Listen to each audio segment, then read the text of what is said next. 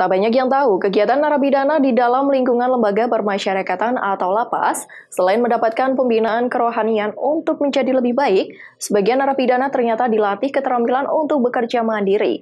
Bahkan, mereka juga mendapatkan upah setiap bulan dari pihak lapas dalam bentuk tabungan. Inilah berbagai hasil karya kerajinan yang diproduksi dari tangan para narapidana di lapas kelas 2B Brebes. Seperti sandal hotel, keset, dan tas souvenir pernikahan atau handaran. Kerajinan yang diproduksi memiliki nilai ekonomi dan mudah dipasarkan. Beberapa narapidana yang sudah terlatih secara aktif memproduksi beberapa kerajinan yang bisa menghasilkan uang. Hasilnya pun cukup lumayan. Pesanan yang masuk dari berbagai kalangan di antaranya perusahaan swasta.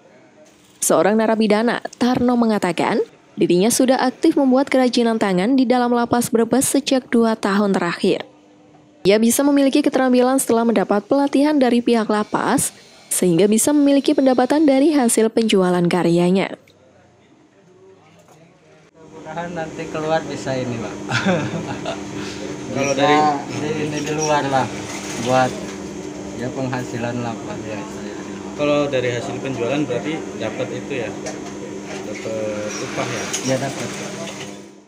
Kepala Lapas Brebes, Isnawan berharap dengan kegiatan ini dapat memberikan keterampilan dan kecakapan untuk bekal yang baik bagi para narapidana setelah keluar dari lapas. Kalau dilihat omsetnya, kalau pemenuhan PNBP itu bisa, kita berarti paling tidak satu juta lah, paling tidak untuk bisa uh, eh, PNBP setiap bulannya.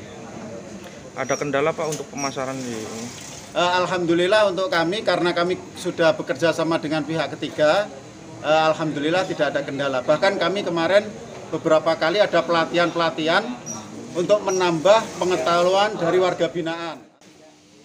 Aktivitas kerja lapas ini diawasi langsung oleh petugas lapas bidang subseksi kegiatan kerja, berlangsung selama hari Senin sampai Sabtu. Pembinaan kemandirian ini dilaksanakan secara terprogram dan terencana, sesuai dengan dukungan sarana dan prasarana yang tersedia. Yuli Herdianto, Kompas TV, Brebes.